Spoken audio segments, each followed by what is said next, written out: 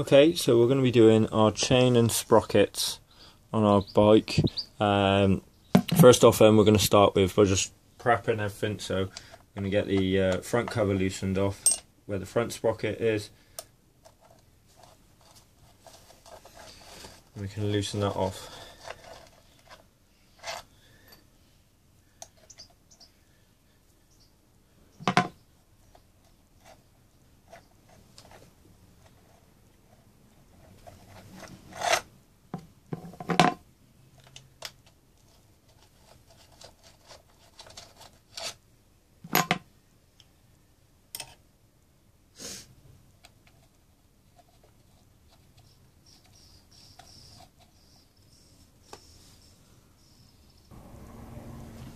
Here's a quick tip for you as well, actually. Um, whilst doing taking out the bolts, because they're different sizes, to help you so you don't lose, saying lose their place, um, you can make a couple of holes here.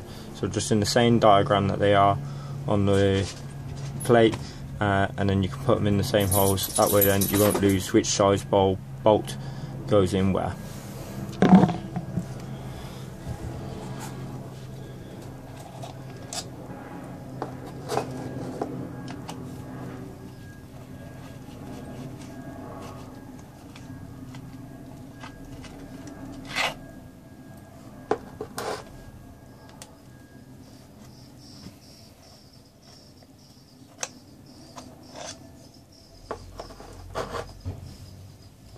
Right, moving your gear changer.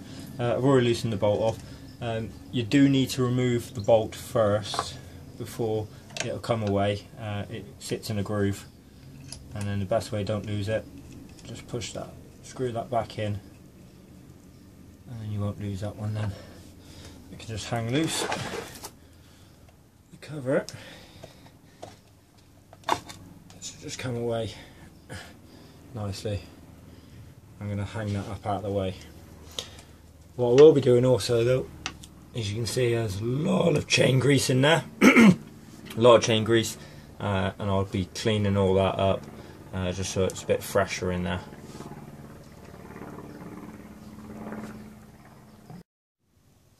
Right, getting your front sprocket off. Um, I have loosened this so um, it's going to be a bit quicker for me to show you process.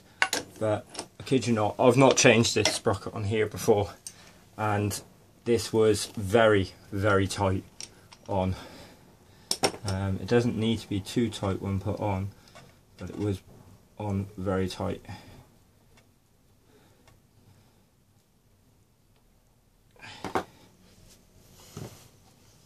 There's plenty of rag around. Right, now you've got your front sprocket off, you'll want to uh, see my video for chain breaking. Um, I bought quite a nice kit from eBay. Let's see there, if I can get it in the camera. Um, which works very well and uh, only paid £18 for it, so bargain. Okay, so taking your wheel off, loosen your chain tension guides.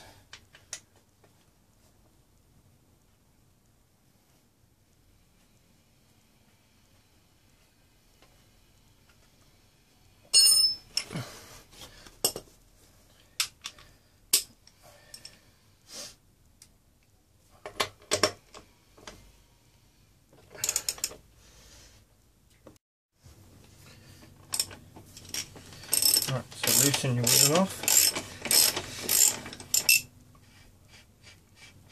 This is to gain access to the rear sprocket.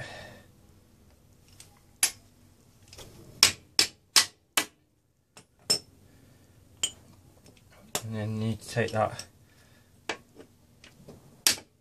nut out.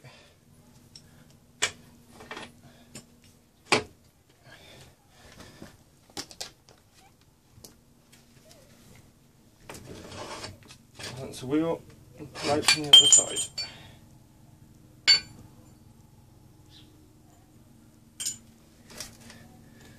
Your rear wheel off. Okay, with your rear wheel away,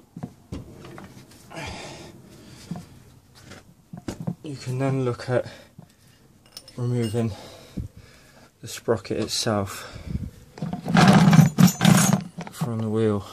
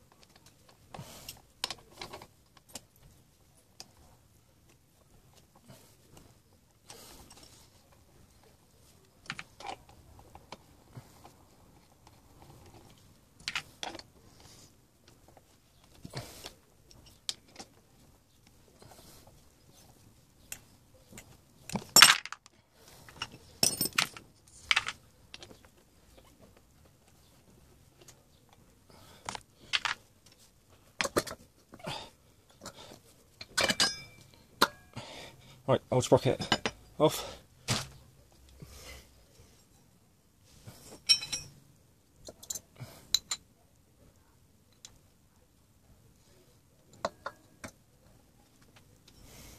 New sprocket there, and you can just see how much wear you have in your old one.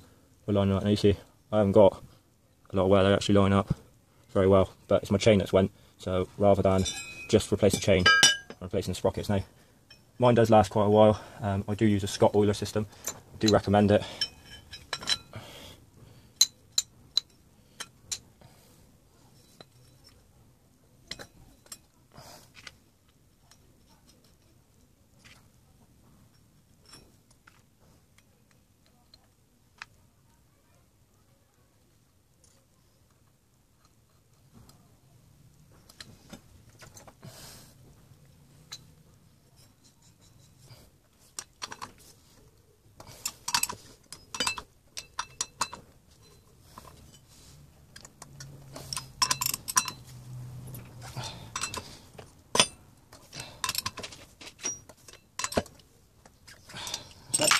Nice and tight, hand tight up. Make sure it's nice and snug. And that can go back on. We've just got to do the front sprocket first. So we've loosened our front sprocket, we've broke our chain, we've removed our rear wheel. Now I can just remove the chain from the bike. Washer, sprocket. Again with the front sprocket, if you want to see how much wear I'm getting in it, and you can line it up with your with your new one, and you'll see how much curvature you get on the inside groove, rather than a nice smooth.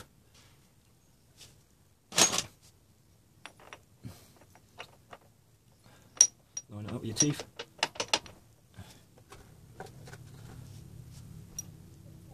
Wash it back on.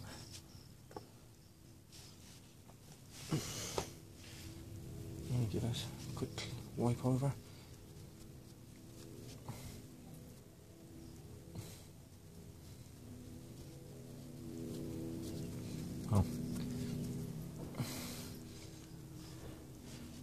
Before I do put any of that back on, I'm going to give that clean up in there.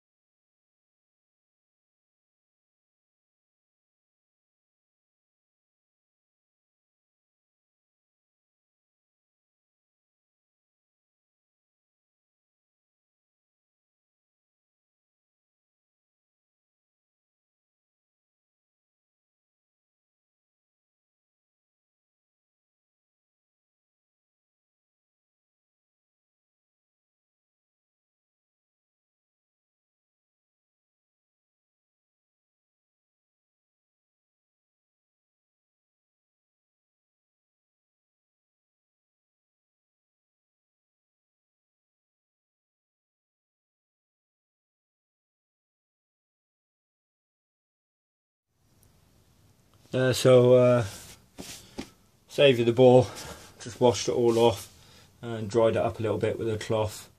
And that is now all done and uh, all clean enough for me. So I don't want it too clean, not too bothered. Now Nice rebuild. So put the sprocket on first.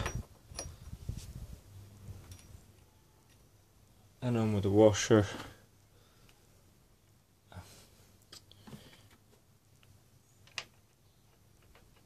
The nut.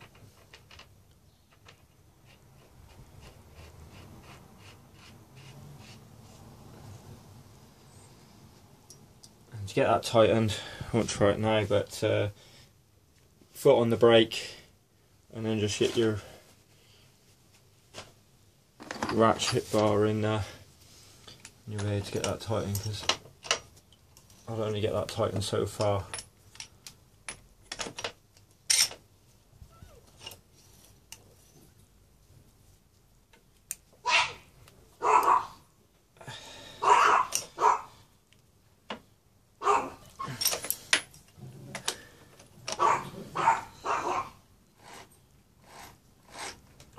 Right, there we go. That'll do it actually.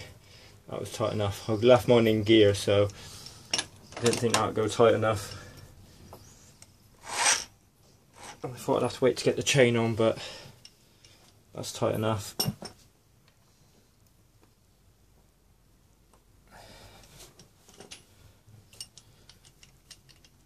A little tap.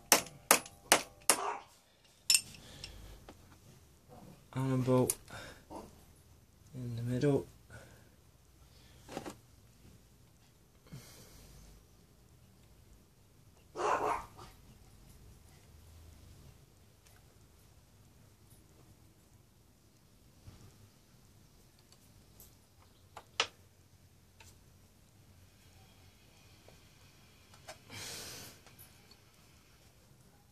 There. That's on. Nothing loose. Perfect. Get the chain on, rivet that up.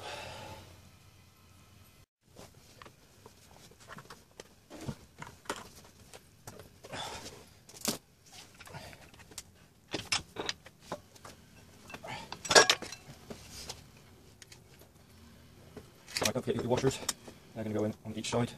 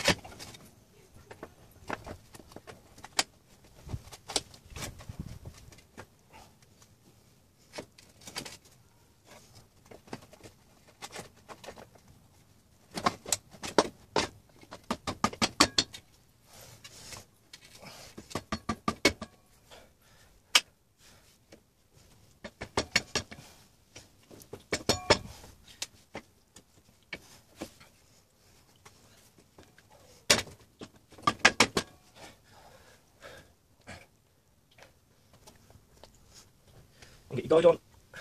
Make sure it's lined up, so be a bit wiggling. Not on, tying a feed chain through.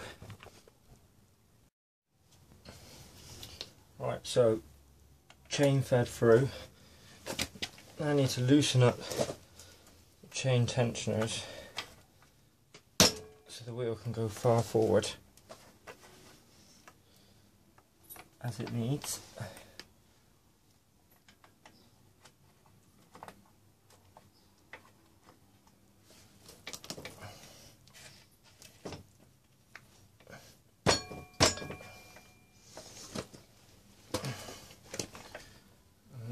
wheel far forward so I can link chain back up.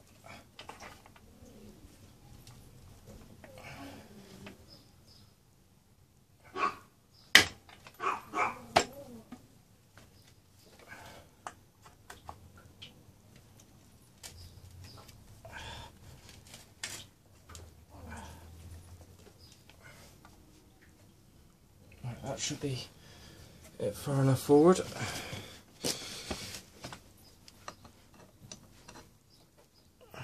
Yep, chains links can meet. Now we're ready to do the chain linking. Here is where you'll be thankful that you put your bolts in an order that you can then easily locate and back in.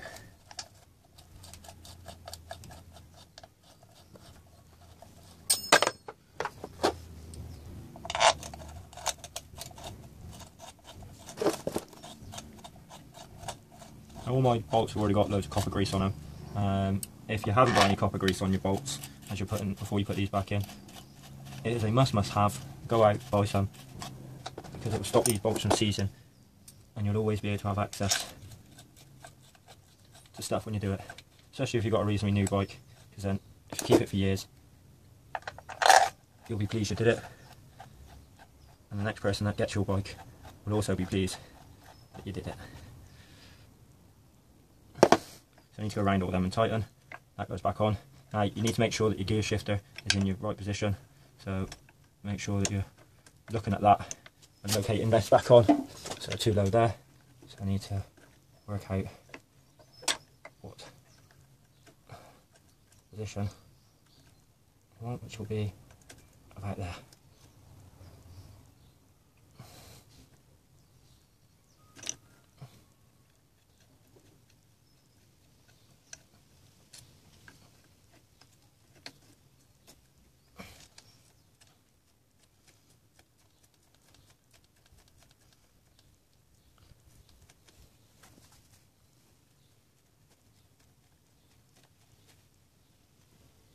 Need to go around and tighten all that.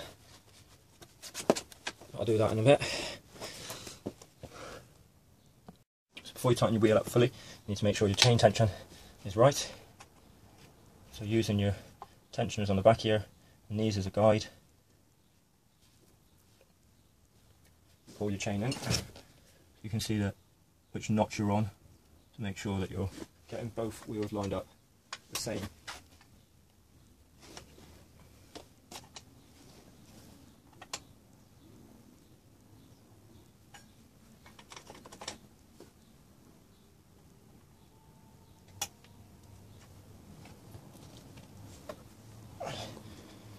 both. Check your tension.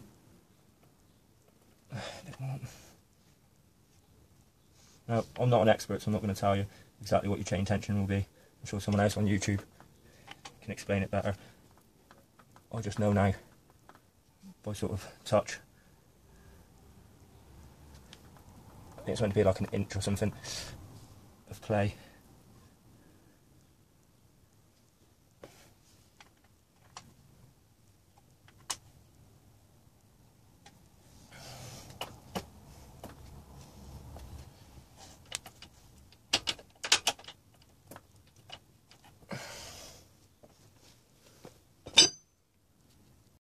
Once you're happy, tension's good, double check it just before you do the final tightening, and tighten your wheel up.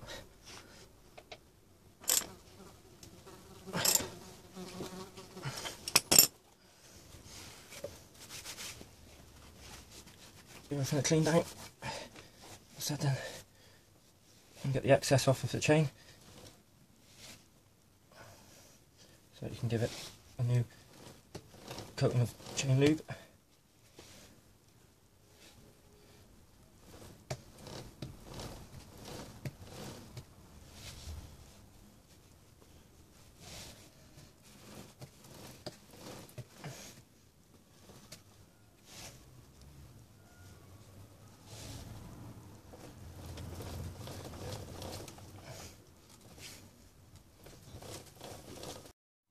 And that's it. Clean up the area and you are done.